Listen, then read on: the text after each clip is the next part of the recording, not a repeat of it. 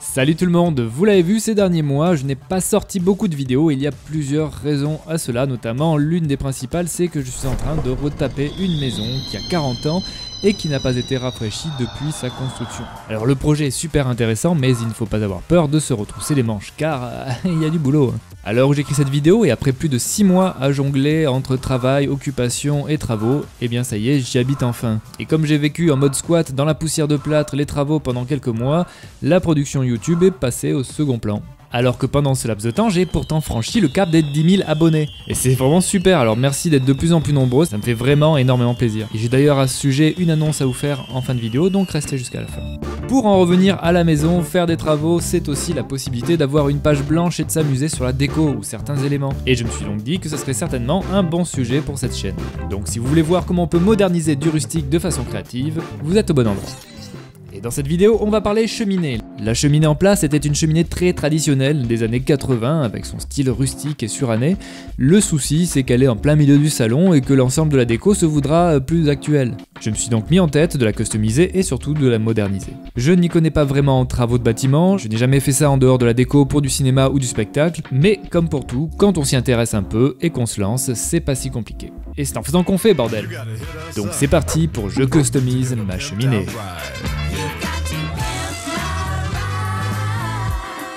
Déjà, avant de se lancer, il faut savoir ce qu'on veut faire et les outils 3D accessibles à tous sont d'une grande aide. Je me suis servi du logiciel Fusion 360 pour modéliser la cheminée actuelle aux bonnes cotes et par-dessus faire des tests de relooking. Que ce soit la couleur ou la forme, ça donne déjà une bonne première idée. Et ça permet surtout de commencer en ayant une idée beaucoup plus précise de ce qu'on veut faire. Chose importante, j'ai décidé de ne pas toucher à la structure de base. Ne sachant pas trop ce qu'il y a dessous, comment c'est fait, comment ça tient, j'ai juste voulu faire un habillage par-dessus. C'était juste du maquillage. Je voulais donner des formes plus droites, épurer le style rustique en remplaçant le bois verni par du bois brut et masquer les briques au maximum. Je voulais également lui donner une fonction déco en créant des alcôves dans lesquelles poser des livres, bibelots et en plus leur ajouter des spots LED encastrés. Voilà, bon, sur le papier c'est chouette, euh, mais une fois que c'est dit, il faut le faire. Je vais donc commencer par créer une structure avec des rails et des montants à placo.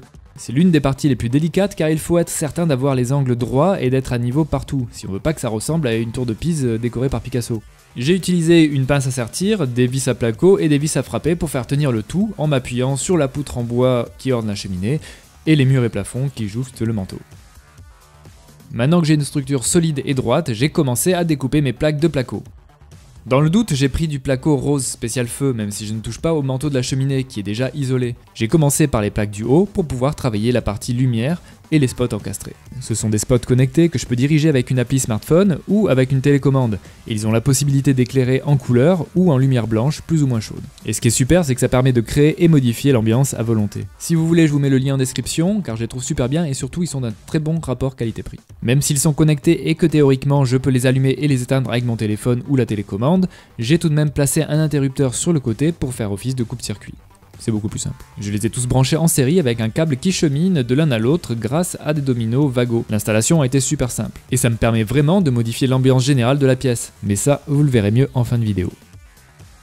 Une fois la partie électrique opérationnelle, j'ai pu continuer à placer mes plaques de placo tout autour pour combler la structure en les vissant sur les rails et les montants. J'ai également fait un trou dans le manteau à la cycloche et j'ai mis une gaine aluminium pour créer une chambre de décompression et faire en sorte que l'air chaud ne s'accumule pas dans le haut du manteau. Ça fait partie des normes de sécurité actuelles qui visiblement n'existaient pas il y a 40 ans. Et ça permet également de diffuser un petit peu plus de chaleur perdue dans la pièce. Et à la fin, bien entendu, je mettrai des grilles pour masquer les trous. Et voilà, après quelques découpes de rails et de placo, la structure et le coffrage placo sont terminés. Jusqu'à maintenant, c'était un petit peu comme jouer au Lego, mais maintenant, il y a l'étape que je déteste le plus, surtout après avoir refait tous les murs de la maison, les enduits. L'enduit, c'est un petit peu comme du plâtre. Ça va finir d'uniformiser le tout en faisant le lien entre les différentes plaques et les murs avant de pouvoir passer à la peinture. Il faut commencer par boucher chaque trou de tête de vis et égaliser les raccords entre les plaques. J'ai mis des cornières métalliques dans chaque angle pour solidifier les arêtes extérieures, qui sont potentiellement sensibles au choc, et ça permet également visuellement d'avoir des lignes bien droites si les découpes du placo n'ont pas forcément été parfaites. De la même manière, j'ai placé des bandes de dilatation dans les angles intérieurs et dans les différentes plaques pour éviter que ça se fissure au moment du séchage. Et une fois que c'est fait, qu'on est sûr d'avoir tout lissé, colmaté, égalisé, on a une bonne idée du résultat final. Mais la pire étape arrive avec le moment du ponçage. Et ça, c'est la mort. Quand vous poncez du plâtre, la poussière se loge dans les moindres recoins de la maison. On en respire beaucoup et donc pour cette étape, un masque adapté est vraiment obligatoire. Et d'ailleurs, à ce sujet, j'ai fait une vidéo sur les différents masques de protection respiratoire, donc allez la voir, comme ça vous n'allez pas mourir tout de suite. Et une fois que cette étape de ponçage est terminée, on peut aller boire un coup, s'abonner à la chaîne et bien entendu mettre un gros pouce bleu en l'air. Et maintenant, on va attaquer la peinture. Pour la peinture, rien de spécial à faire, on prépare les contours avec de l'adhésif de masquage, puis on commence par une sous-couche pour uniformiser le tout et être certain que la peinture accroche bien au support. Une fois que c'est sec, on peut passer à la peinture finale en deux couches, ou en plus si c'est de la merde. J'ai choisi une sorte de gris anthracite sombre, ce moment-là, la grosse question était de savoir si j'allais laisser les alcôves avec un fond blanc, ce qui aurait été top pour les jeux de lumière des spots encastrés, ou est-ce que je peins tout en gris? Et au final, même si le gris mange énormément les teintes de lumière, le résultat est quand même plus classe de façon uniforme.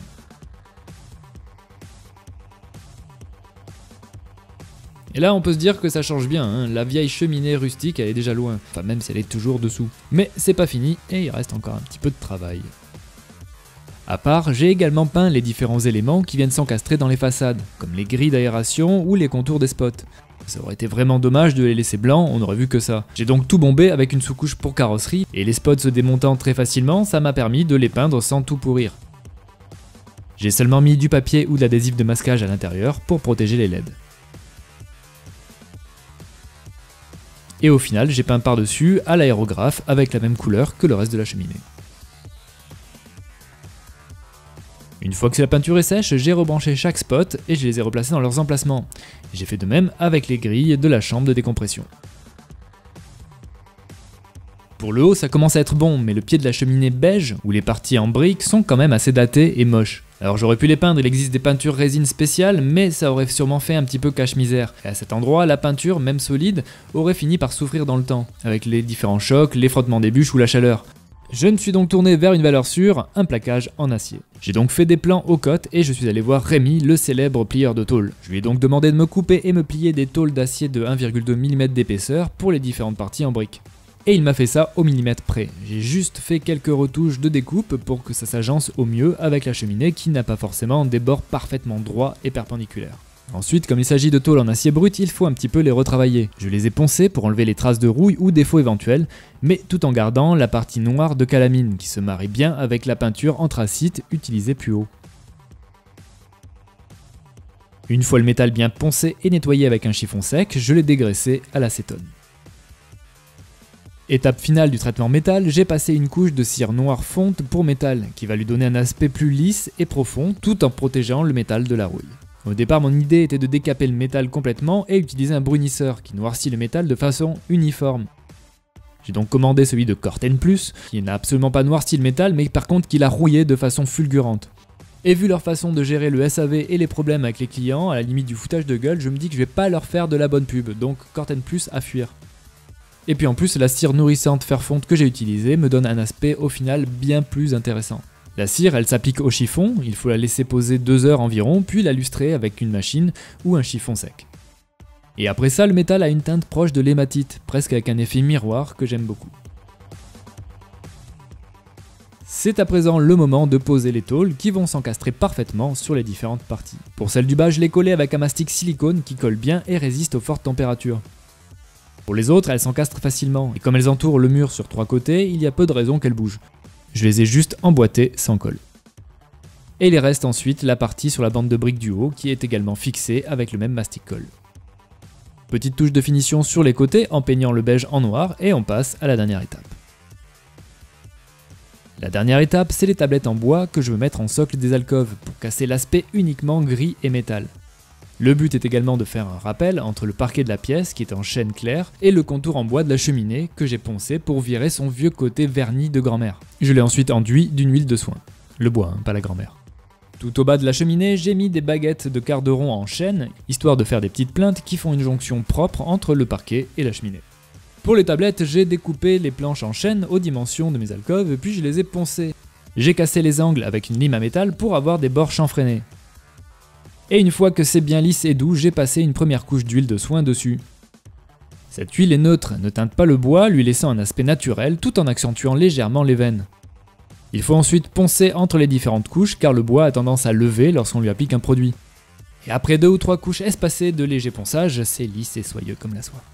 Maintenant que mes tablettes sont prêtes, je peux les mettre en place sur la cheminée. Là encore, j'ai décidé de ne pas les fixer, elles sont suffisamment encastrées et ne seront pas manipulées. Ça me permet également de garder l'accès plus facilement au branchement électrique à l'intérieur en cas de besoin. Et ben voilà, on a presque fini, il manque juste la touche finale, accrocher Jean-Claude dans la place qui lui était destinée. Jean-Claude, je l'avais ramené de voyage il y a quelques années, il m'a d'ailleurs valu pas mal d'anecdotes assez drôles tout au long du chemin du retour. Parce qu'au final, euh, traverser quelques pays avec un crâne de buffle dans son sac, bah c'est pas toujours bien compris par tout le monde. Mais sinon, ça y est, la cheminée est terminée, et après pas mal d'heures de travail dessus, je suis plutôt content du résultat. Surtout quand on voit d'où on partait. Alors j'imagine que le style ne plaira peut-être pas à tout le monde, d'ailleurs j'aimerais bien savoir ce que vous en pensez, mais l'ambiance de la pièce en est totalement modifiée, et en plus avec un parquet autour et un aménagement de la pièce, c'est nettement plus agréable. Sans compter évidemment la satisfaction personnelle de créer une pièce maîtresse en plein milieu du salon.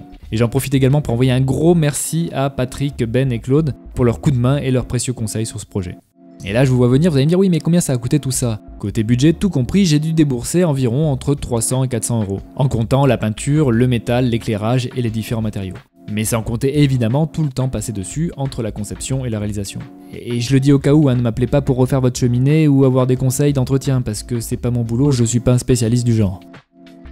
Comme je disais en début de vidéo, j'ai passé il y a peu les 10 000 abonnés. Alors c'est super, et comme le veut la traduction, je comptais faire une vidéo FAQ, histoire de centraliser pas mal de questions que je reçois de part et d'autre. Bon alors je sais, j'avais déjà annoncé une FAQ pour les 5000 abonnés, mais après réflexion, je me suis dit que 5000 en fait c'est assez ridicule dans l'univers YouTube, et donc j'ai un peu annulé et reporté ça sur les 10 000. J'ai donc gardé au chaud les questions déjà reçues, et vous pouvez en envoyer de nouvelles, soit en commentaire des vidéos, en mentionnant FAQ, soit en commentaire de cette image que j'ai postée sur Instagram. Et d'ailleurs, je vous invite tous à vous abonner à ma page si c'est pas déjà fait. Voilà, j'en oublie pas pour autant tout ce qui est sculpture et moulage, j'ai plein d'autres idées de thèmes à aborder, notamment tout ce qui est impression 3D, et si vous aimez le monde créatif, plusieurs sujets à venir devraient vous intéresser. Ce sera justement l'occasion d'en parler, j'attends vos questions et vos commentaires. En attendant, je vous dis à très vite, et si quelque chose vous plaît, eh bien faites-le, car il n'y a qu'en faisant qu'on fait.